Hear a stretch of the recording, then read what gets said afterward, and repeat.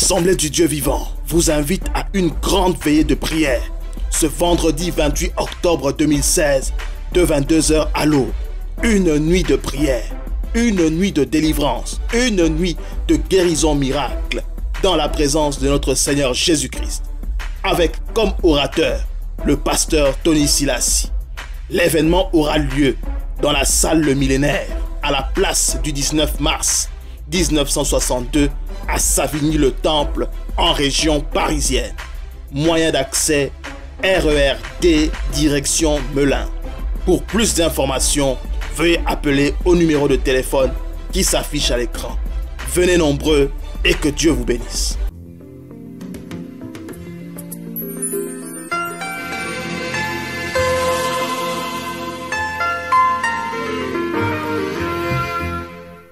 Peuple de Dieu, Bonjour, Euh, je m'appelle Comlan, Euh, je suis originaire du Togo. Euh, cela fait euh, plus de 8 ans euh, que je suis arrivé en Europe ici. Euh, je suis arrivé euh, à- par l'Italie pour des études. Frère, si tu Je vais- je vais essayer parler un d'être- peu fort. Je vais essayer d'être un peu bref. Donc je suis arrivé euh, en Europe, en Italie pour des études. Donc j'ai fait des études universitaires là-bas. Et euh, après quatre années d'études, j'ai fait la licence. Et je continuais euh, voilà, la quatrième année pour le master. Après tout, j'ai abandonné parce que j'avais des difficultés financières, euh, mes parents, tout ça, donc j'ai abandonné. Donc, comme j'avais un cousin ici en Belgique, là, donc je me suis dit, je vais venir ici en Belgique me chercher. Donc, je suis arrivé ici en Belgique, toujours avec le titre de séjour étudiant. Je suis arrivé ici en 2013. Et en 2014, euh, le titre de séjour s'est expiré. Donc, du coup, voilà, je suis euh, dans une situation, disons, administrativement irrégulière. Donc, euh, mon cousin m'a dit euh, écoute, tu peux faire une demande d'asile. À la suite de ça, tu peux obtenir des papiers. Je ne savais, je ne savais rien voilà, des procédures d'asile, tout ça. Donc là, nous, nous avions fait cette demande, elle a été rejetée. Donc, tous les voies de recours possibles, rien du tout, négatif. Donc, l'année passée, en 2015, nous avions introduit une demande de régularisation, ce qu'on appelle le 9 terre, le 9 bis. Alors, c'est dans cette procédure que je voilà, que j'étais jusqu'à le mois d'août. Mois d'août, donc c'était le dimanche, le 21 août. Je suis venu à l'église ici. Et après le culte, vers 15 heures comme ça, je suis rentré à la maison. Mais moi, je suis de Waregem. Donc je viens sur Bruxelles, c'est pour le, voilà, pour, pour, pour, pour, euh, le culte. Et parfois, je passe la nuit chez un frère ici, un frère togolais, un compatriote togolais également. Donc euh, le dimanche 21 août, j'étais au culte ici. Je me rappelle, si j'ai bonne mémoire, euh, le même jour après le culte, le papa devait s'envoler pour euh, Congo-Braza. Donc, je, suis rentré à la maison, étant fatigué, chez mon ami. Donc, on, on a passé la soirée ensemble. Et voilà. Donc, la nuit du 21 août au 22, c'était un matin, vers 4h30. Je dormais chez lui et puis je vois une dizaine de policiers débarquer vers 4h30 du matin. Mais moi, je dormais, euh, ils m'ont juste réveillé et puis ils me demandent euh, ben, euh, présente-nous voilà, une, pièce d'identité. Je leur ai dit non, au fait, que j'avais dans mon porte-monnaie une carte de résidence de l'Italie. Ils m'ont demandé mon passeport. Je leur ai dit non, que je n'ai pas mon passeport ici parce que je ne suis pas ici. Je suis juste de passage ici. Et que j'habite à Waregem. Et que je suis, euh, je suis pas en situation je suis en procédure. Donc ils m'ont dit, euh, bon, suis-nous. Donc euh, ils m'ont dit de m'habiller, je me suis habillé. Donc ils nous ont tous menottés.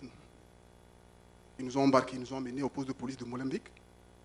Ils, nous ont fait, ils nous ont pris les empreintes. Donc ils nous ont dit, je leur ai demandé ben, que je ne comprends pas pourquoi ils sont venus nous chercher. Aucune réponse. Et on me dit, j'ai demandé si je peux appeler mon avocat. Les membres de ma famille m'ont dit non. Donc euh, ils ont pris les empreintes, ils ont fait des photos. Et ils m'ont amené dans, une cellule. Ils m'ont dit qu'ils vont contacter l'office. Donc vu que je dis que je suis en procédure, donc c'est l'office qui décidera. Ils m'ont mis dans, dans la cellule. Euh, je ne comprenais rien, puisqu'ils nous ont séparés. Donc le compatriote togolais aussi, euh, on l'a mené ailleurs. Et donc dans la cellule, je, priais, je, demandais à Dieu qu'est-ce qui ne va pas, que je ne comprenais pas la situation. À un moment donné, je me suis, euh, je me suis assoupi et j'ai fait un rêve. Et dans le rêve, je me suis vu, je me suis retrouvé dans, une prison, dans un centre. Je voyais des gens et je ne comprenais pas. Je me dis, ah, je me suis dans une prison, dans un centre fermé. Mais je ne comprenais pas. Sur le coup, je n'ai pas compris. Euh, puis je me suis réveillé. À 15 heures, ils sont venus dans la cellule, ils m'ont dit, euh, l'office a donné, l'office a décidé euh, qu'on doit t'amener dans un centre fermé. J'ai demandé pourquoi. Je, dois appeler mon avocat. On ne peut pas me dire non, euh, c'est l'office qui a décidé. Donc à 17h, ils nous ont amenés ils sont venus nous chercher. Ils sont amenés dans, on m'a amené dans un centre fermé. Voilà. Donc depuis le 22 août, dans les semaines qui ont suivi, je n'ai cessé d'appeler. J'ai toujours appelé euh, le secrétariat ici de, de- d'ADV. À chaque fois que j'appelais, je tombais toujours sur euh, Rose. Donc à chaque fois, je demandais euh, à ce qu'on prie. Donc elle priait tout le temps pour moi. Donc elle me fortifiait, m'encourageait. Euh, et après tout ça, j'ai appelé mon avocat. Euh, L'avocat a, fait une demande de mise en liberté. Nous avions comparu au tribunal de, Bruxelles, c'était le 31 euh, août. Donc ça a été négatif. Ils ont refusé de me libérer. Et comme j'avais des procédures en cours, ils ont donné voilà, une suite négative à toutes mes procédures. Donc, ils disent, voilà, on va te rapatrier au Togo. Euh, voilà. Pour ceux qui savent comment ça se passe, euh, co- comme ils euh, quand ils m'ont attrapé, ils n'avaient pas mon passeport. Donc, ils ont juste une carte de résidence. Donc, il fallait qu'on m'emmène à l'ambassade pour me délivrer un laissez-passer. Il s'est fait que le Togolais avec qui on m'a attrapé, il a demandé là-bas au centre, au centre fermé, à aller chez lui à la maison prendre ses effets. Donc quand il est parti, en venant, il a pris mon sac. Et le sac qu'il a pris, il y avait mon passeport dedans. Il a ramené le, passe- en fait, le sac dans le centre, ne sachant pas que j'avais mon passeport dedans. Donc quand il a ramené le, sac, ils ont pris le passeport. Donc ils se sont dit, ah bingo. Donc euh, ils ont pris mon passeport. Euh, le 3 septembre, en même temps, ils m'ont, acheté un billet pour le Togo. Alors, ils m'ont amené à l'aéroport. Euh, là, j'ai, refusé de partir, puisque selon la loi, la première tentative, vous avez le droit de refuser. Donc j'ai refusé. Ils m'ont ramené au centre. Donc je n'ai cessé d'appeler, j'appelais tout le temps, tout le temps ici, on priait, on priait. Et dans le centre, il y avait des frères en Christ aussi avec qui je priais tout le temps. Bon, je me suis posé la question, comment est-ce que mon passeport m'a suivi? Pourquoi Dieu n'a pas empêché? Donc c'était, vous savez, quand vous passez des moments de détresse, il y a beaucoup de questions qui vous viennent dans le cœur. Dis, mais comment est-ce que mon passeport peut me suivre jusque dans le centre là-bas? Je ne comprenais rien. Mais euh, voilà, donc tout le monde, quand on- ils ont ton passeport, c'est fini quoi. Là, ils n'ont plus euh, le temps d'aller à l'ambassade, euh, voilà, demander, on va le laisser passer, tout ça là. Donc, euh, je me voyais déjà, voilà, un pied au Togo, un pied ici. Et franchement, je vous dis la vérité, c'était difficile. Parce que vous vivez avec des gens, euh, aujourd'hui c'est celui-ci qu'on déporte, le lendemain c'est celui qui dort à côté de toi, et tu te dis peut-être que le, prochain, ça serait toi. Mais je n'ai cessé de, de persévérer dans la prière. Quand j'a- j'a- j'a- j'appelais, on priait, on priait. Et je pense que c'était le vendredi euh, 21 euh, du mois de septembre. Je dormais, bah, il y a une voix qui me disait, ben, appelle, appelle, envoie quelqu'un aller voir le, pasteur euh, Tony. Alors, euh, je me suis dit, ok, euh, qui je vais envoyer? Parce que je ne connais pas tellement beaucoup de, de- de monde ici. Donc, je me suis rappelé d'un ami et je l'ai appelé, je lui ai dit, écoute, tu vas me rendre un grand service. Je dis, euh, fais tout et tout. C'était, le, je pense, le, vendredi, le 22-23.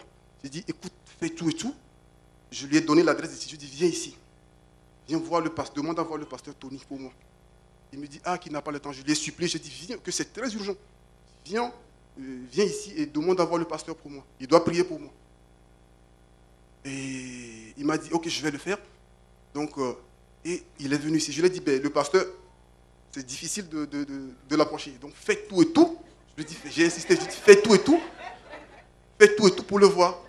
J'ai insisté plusieurs fois. Il me dit, ah ben, je vais essayer. Donc, euh, le vendredi, là, il était ici. Et euh, il a pu me contacter. Il me dit, ah, je suis déjà là. J'entendais les gens prier, tout ça, c'était 20, 20, 21h30 comme ça. Et puis, je lui ai dit, fais tout et tout. Et vois le pasteur pour moi. Vous riez, mais j'ai dit, mais fais tout et tout et vois le pasteur pour moi. Parce que j'ai passé toute la nuit, euh, il y a cette voix qui me disait, demande à ce qu'on demande, envoie quelqu'un voir le pasteur Tony pour qu'on prie pour toi.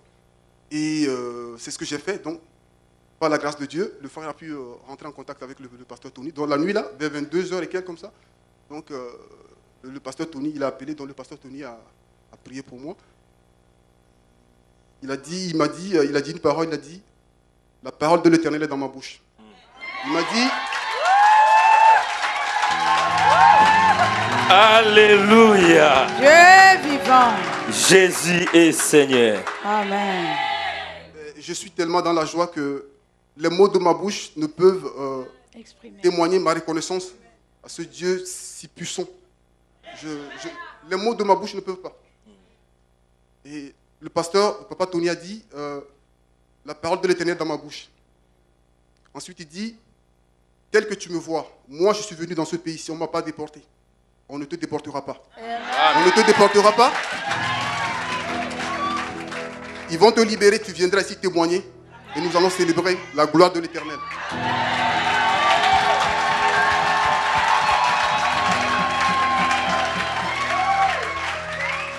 Mais makele oyo eza suffisant te mpo na miracle Mais ces bruits ne sont pas tellement suffisants par rapport à la grandeur de ce miracle. Ce n'est pas encore suffisant. Alléluia. Alléluia, Alléluia. Alléluia. Oh. Alléluia, Alléluia. Gloire au Seigneur. Alléluia. Il est puissant, notre Dieu. Amen. Amen. Si tu ne comprends pas, bien aimé esi amonaki na bari na baveni na bandako ya togo bien-aimé, lui, il voyait déjà le rue, les avenues, le maison du Togo. soki kutu ntango passeport ezalaki te mo espoir eza Lorsque, me nzambe akoki kosala te soki yo ozomona eza non possible lorsque le passeport n'était pas encore avec lui, il voyait qu'il y avait encore de l'espoir. Mais lorsque le passeport était venu, mais Dieu ne pouvait pas agir parce qu'il aime ce qui devient impossible. les alléluia Dieu est vivant. il faut moto akóma na phase ya impossible Il faudrait que l'homme atteigne la phase de l'impossibilité.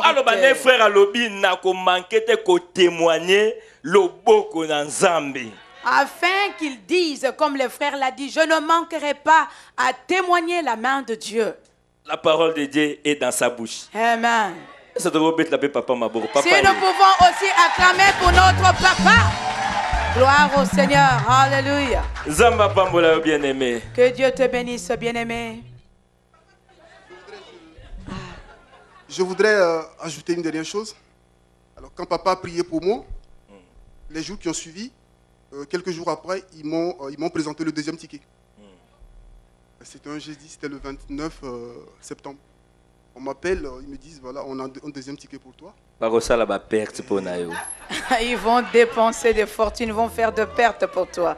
Quand j'ai pris le billet, euh, je n'ai pas paniqué. J'ai juste dit euh, que j'annule ce billet dans le, dans le sang de Jésus-Christ. Mm. J'ai pris le billet, je l'ai plié, euh, puis je l'ai foutu quelque part. Et le, jour qui a- le lendemain, on devait comparaître au tribunal avec mon avocat. Donc euh, nous sommes partis, c'était le 30.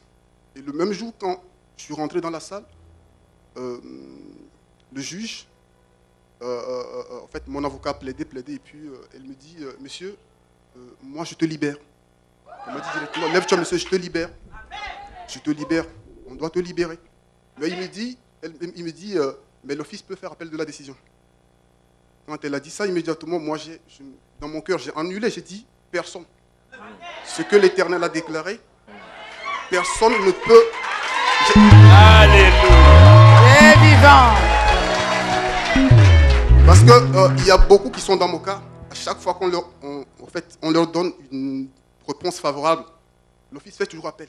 Ils sont toujours là-bas, à chaque fois. Tel que papa avait prié, papa dit je sortirai, et c'est ça qui s'est produit.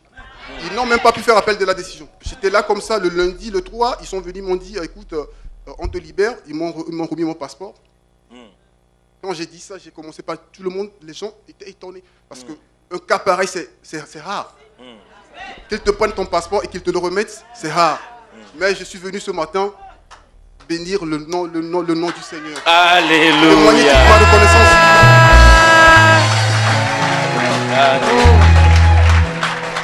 Le Seigneur est vraiment fidèle. Il est vraiment fidèle. Frères et sœurs, je voudrais vous dire quelque chose. même si vous passez par des moments de détresse, vous vous posez beaucoup de questions, ayez le regard sur le Seigneur Jésus-Christ. Ayez le regard sur le Seigneur Jésus-Christ. Gardez la foi. Il est fidèle. Ce Dieu, il est vraiment fidèle. Il est fidèle. Il est fidèle. Soyez bénis, un peuple de Dieu. Alléluia. Dieu est vivant. Alléluia. Dieu est vivant. Zamba pambola. Que Dieu te bénisse. L'Assemblée de Dieu vivant est un lieu de guérison, de miracles et de consolation.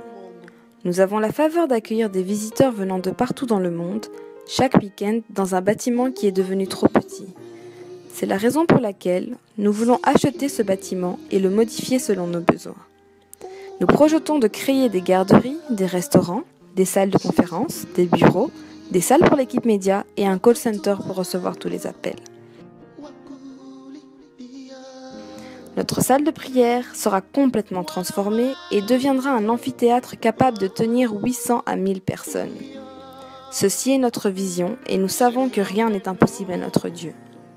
C'est la raison pour laquelle nous vous encourageons à contribuer financièrement à ce grand projet. Vous n'allez pas le regretter car nous vous assurons que vous allez récolter plus que ce que vous aurez semé.